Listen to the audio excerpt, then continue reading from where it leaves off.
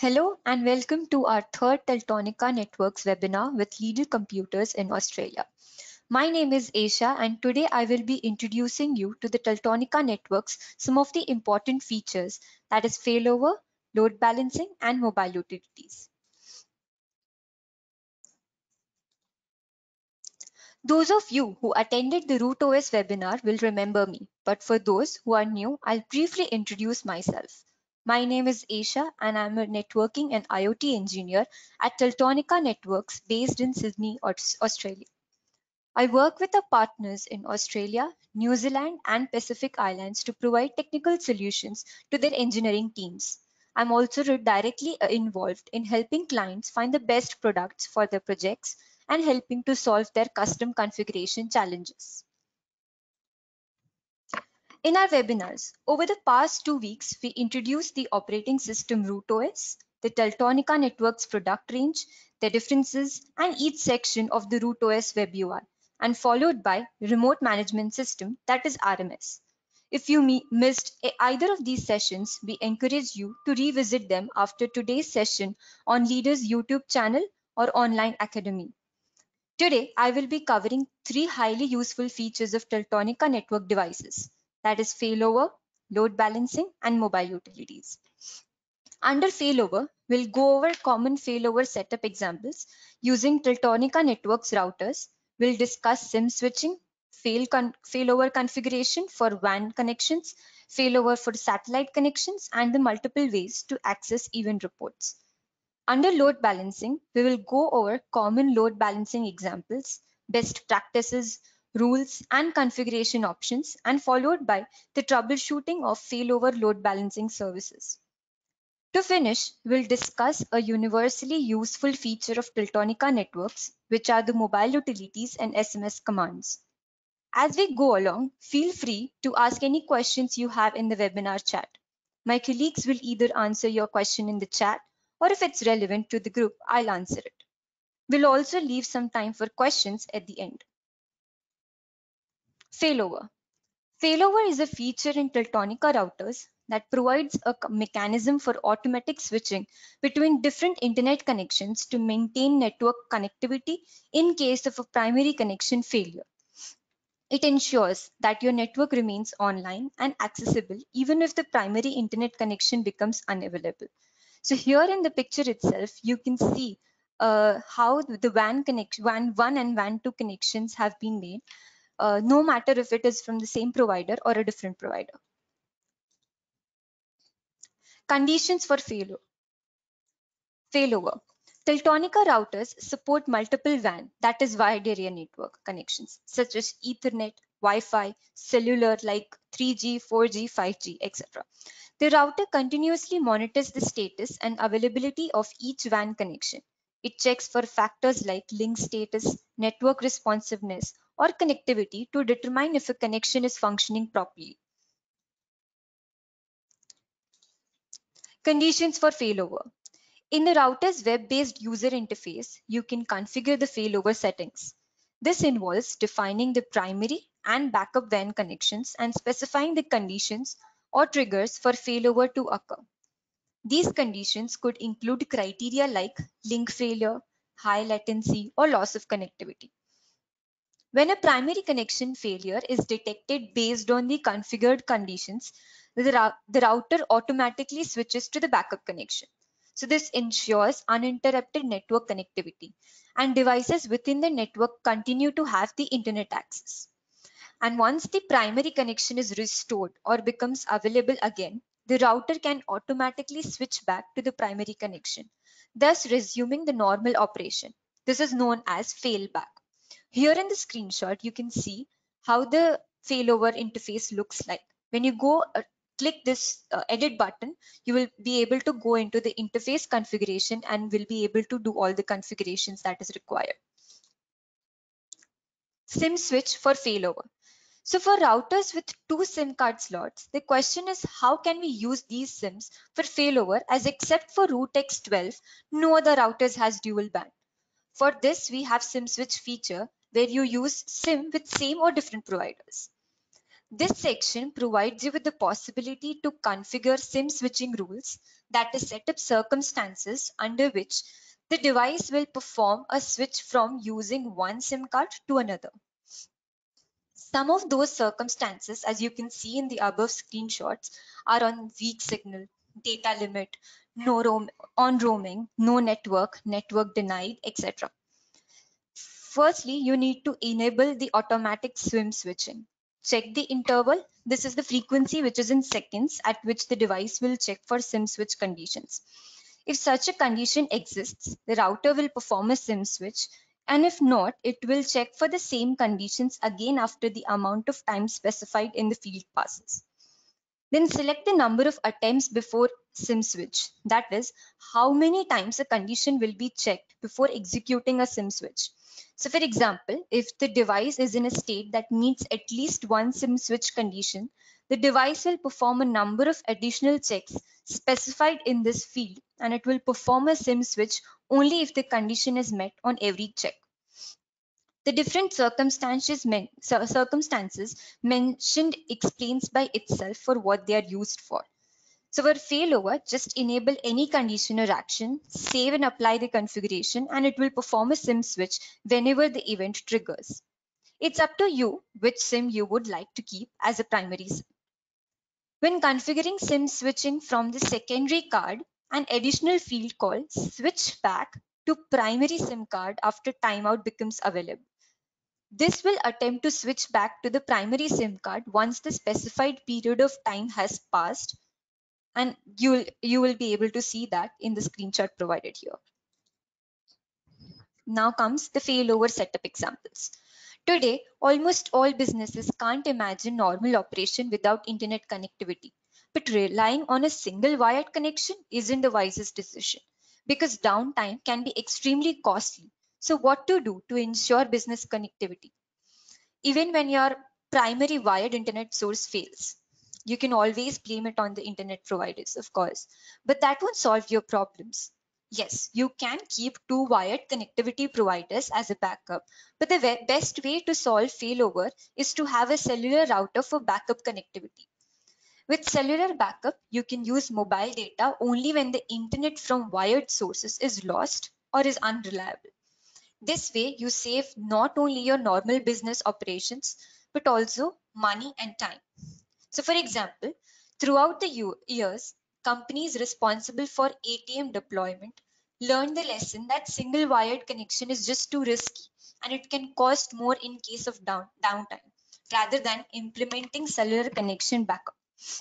So nowadays, most ATMs are using industrial cellular routers, sometimes even as the primary source of connectivity be between ATM and central systems of the bank.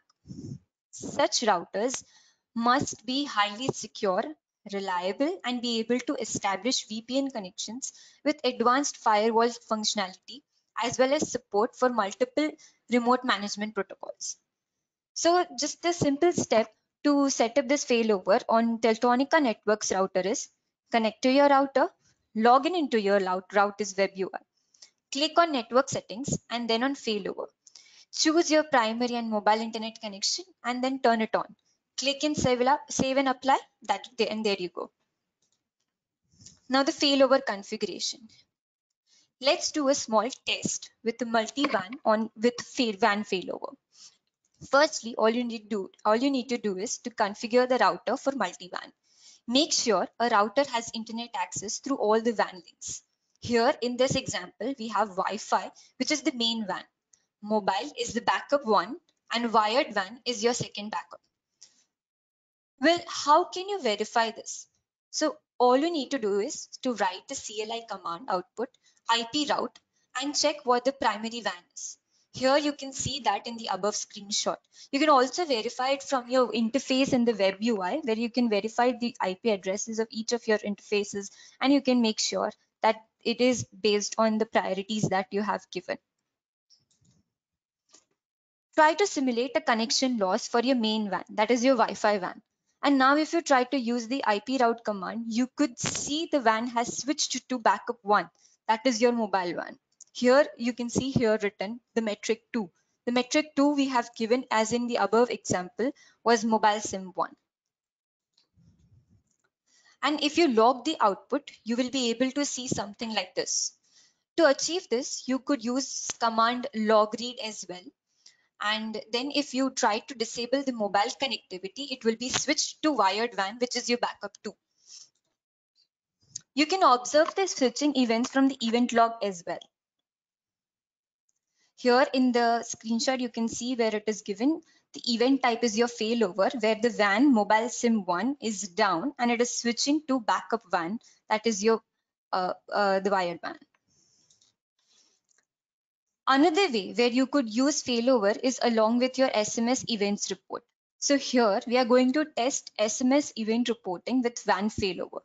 Firstly, we will configure the event in RUTX11, which will send SMS when a router is switched to WAN failover.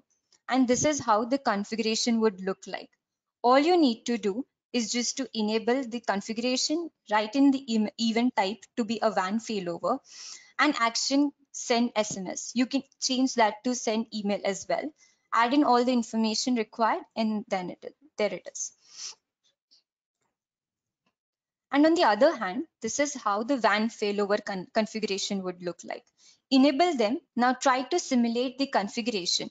When the WAN failover will occur, it will send you a SMS notifying that the WAN is down and it is now switching to backup WAN, which is your SIM1 in this case. Here you in the screenshot, you can see how the message looks like. You can also verify this by checking the events log page in the web UI or you can use the command log read in your CLI. Now failover for satellite connections.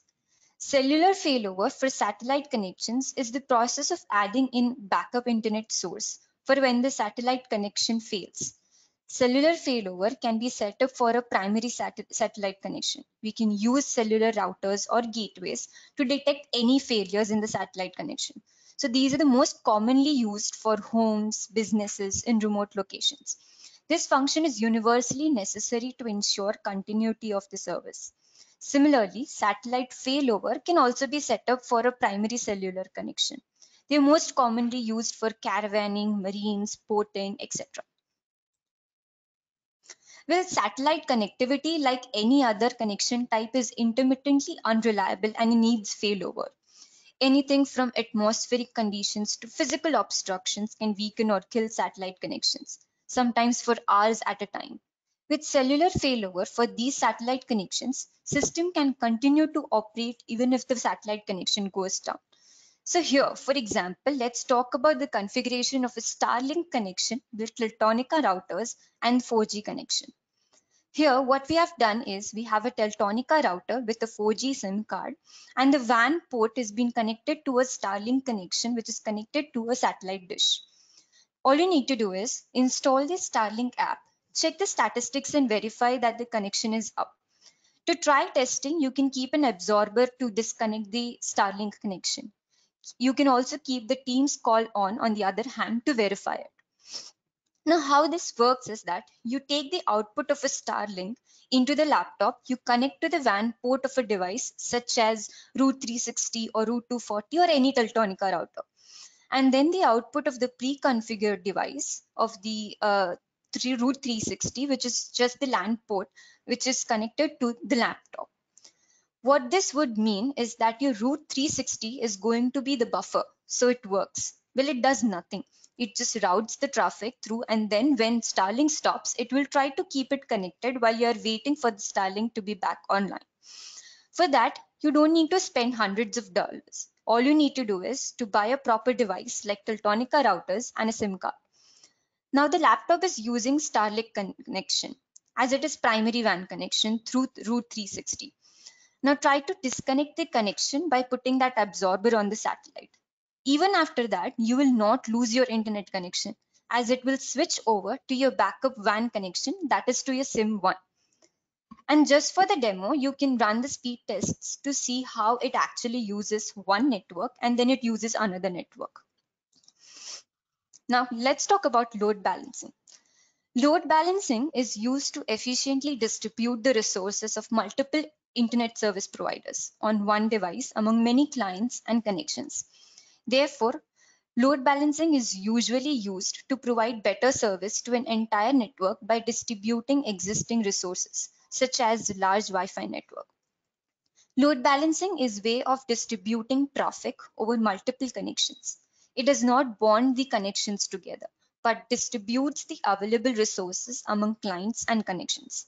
So here, as you can see in the picture, for example, let's take an example in a network with four clients that have established 10 connections to the internet each. Taking a 50-50 ratio load balancing can distribute this traffic equally over two different network interfaces using different ISPs. You can obviously take other ratios as well. Load balancing data speeds will depend on a device's software and hardware capabilities. For example, when using load balancing on a RUTX12, you may expect SIM1 plus SIM2 minus about 15% of it.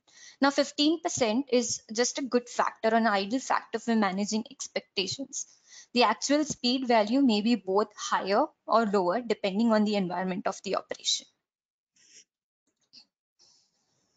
When load balancing is selected, you can assign ratio values to WAN interfaces. The ratio value represents a percentage of traffic load that will go through an interface. For example, if you set it up like this, you have a wired WAN ratio of 3 and mobile WAN ratio of 2. Then about 60%, that is 3 by 5 of traffic would go through the wired WAN interface and about 40% would go through mobile WAN. In this case, if you played 100 different videos on the internet, about 60 would be downloaded through wired WAN and the other 40 would be downloaded via mobile WAN. Load balancing and failover rules. A load balancing failover rule is a set of conditions that define some type of network traffic. The a traffic that matches the conditions set in the rule is handled in accordance to the specified policy there is one default rule present on the device. You can add more rules with the add button or you can customize the existing rule by clicking the edit button next to it.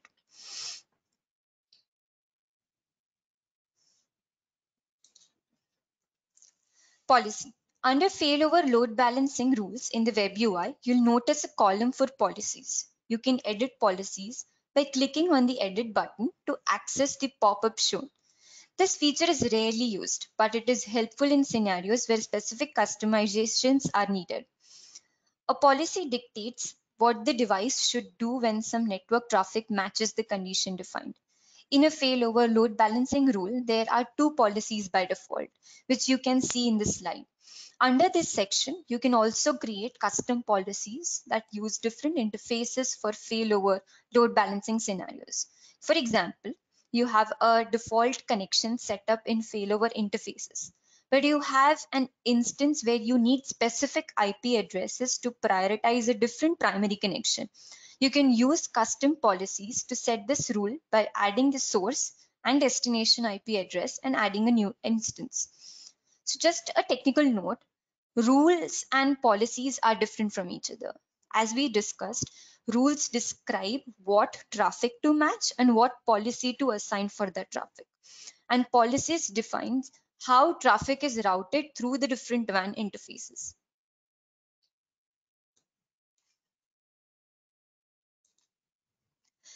Troubleshooting the failover and load balancing. So we have different ways. Obviously, you can download the troubleshoot files from the web UI when you go into the administration. Another way you can do is by using the service via CLI. You can do configured globals, which is in a rare cases that is used. Then we have active interfaces plus the configuration. Then we have active M mobile uh, multi-WAN mode that is failover or load balancing through which you can check. Then we have is configured rules, what rules you have configured, what policies you have configured. Based on these things, you can observe how the configurations and everything is, and you can troubleshoot your service. We may observe all of these configuration options in the web UI except for the global section. So this global section resides in the configuration file and cannot be modified by any web UI. So according to this documentation, the globals are settings are the settings that apply to all multi-WAN services. Multi-WAN has its own available CLI commands as well to check on the current status of the service. So we have all these CLI commands where you can check as well.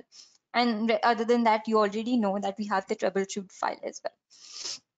Let's talk about mobile utilities now. The mobile utilities page is used to configure various SMS and call related device control options and to read, send and manage SMS messages and SMS storage, storage space. The SMS utilities section contains a list of rules that perform certain actions when they are activated by SMS messages. The entire list contains like more than 20 rules, but it does not include all possible SMS actions. You can also create custom rules or modify existing rules. All possible SMS rule actions that default as SMS texts. Some of those actions are changing the input output state, changing profile, changing SIM switch, changing mobile settings, sending status, etc. To execute an SMS rule, send an SMS message to your device's SIM card number with the rule's SMS text preceded by the selected authorization keyword which depends on the selected authorization method. You can edit the authorization method for an action by clicking on the edit button. Now, what are those authorization methods? Firstly, we have no authorization where you don't need any special keyword is required. Simply send a rule, SMS text. In, in the example shown here, we execute the reboot rule without any authorization. Then we have is by serial. Here you need to include the device's serial number before a rule's SMS text. So for example, we execute the IO status rule just with a serial authorization before it. Then we have third is the admin password. In it here you need to include the device's password. So this is the password that is the web UI password that you have created after you get into the device web UI and then followed by the SMS text. In the example shown here, we execute VPN rule with an admin password authorization.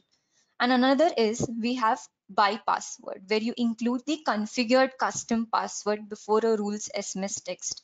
For example, we can execute the SSH on example rule with password authorization.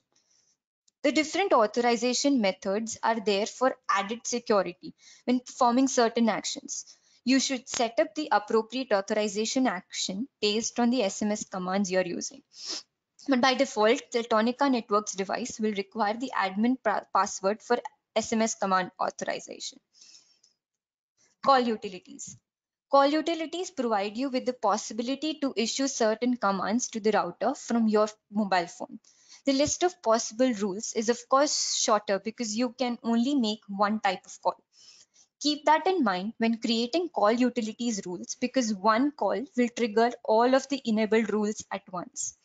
Well, when it comes to configuration, all you need to do is enable the call configuration, select the action you need like reboot, get status, turn mobile data on or off, etc.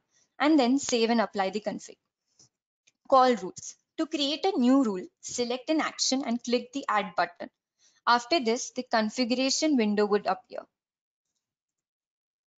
Next we have is incoming calls. This specifies the action to be performed on incoming calls. Call utilities rule will keep getting executed while the call is active. SMS messages. With the help of this window, you can read and send the SMS messages. In the read messages section, you can read and delete received or store SMS messages. The layout is simple. There is a list of received SMS messages and you can choose how many entries of that list should be visible at one time with SMS per page Dropbox in the top left corner of the page. And there is a search field to help you navigate more efficiently through the list of messages in the top right corner of your page. The send SMS messages section lets you send messages from the router's SIM card.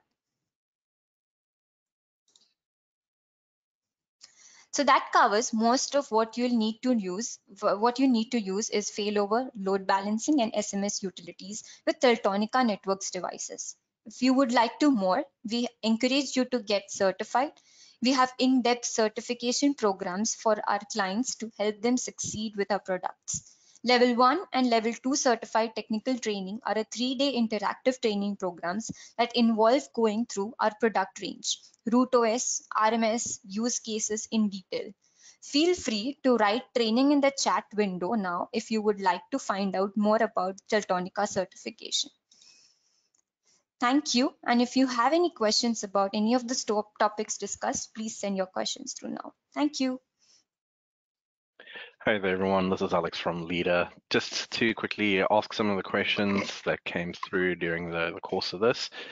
Um, so one of the questions that came through is, uh, can you have multiple recipients for SMS alerts?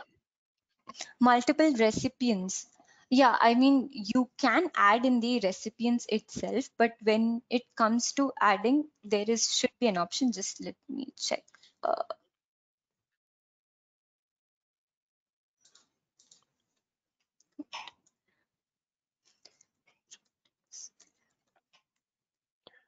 If it's something we need to loop back to, we can do that as well. Or alternatively, if you have it in front uh, of you. Yeah, I'm just like showing them directly over here from the SMS possibility.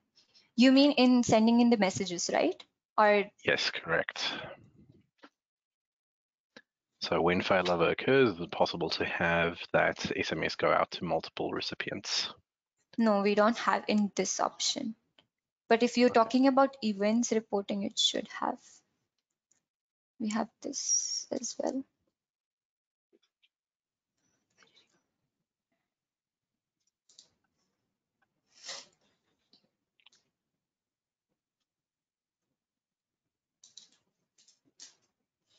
Here, as you can see, if you send email, all you need to do is just to select the uh, plus button and you need to add in the information. Perfect. Awesome. Yeah, Thank you so much It's for that. easy, it- yeah, no matter it's for email or SMS. And then there's another question that came through here. Uh, can you see the status of a router if it's using the failover link through RMS? Through RMS, uh,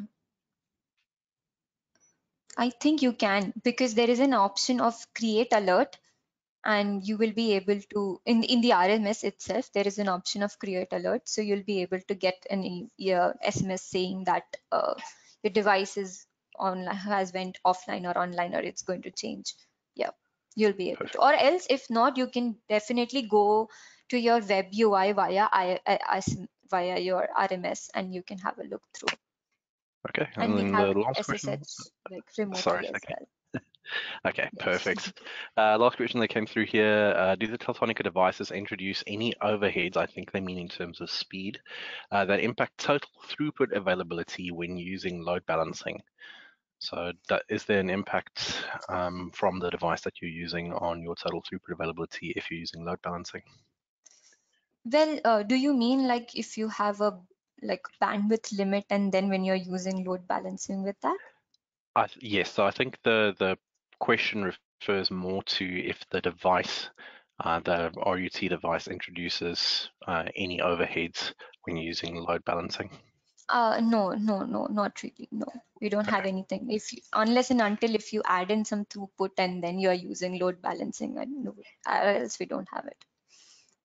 Okay. No. Um, perfect. So uh, that's all the questions that came through. If you guys still have any questions, please feel free to post them through now. Also, please don't run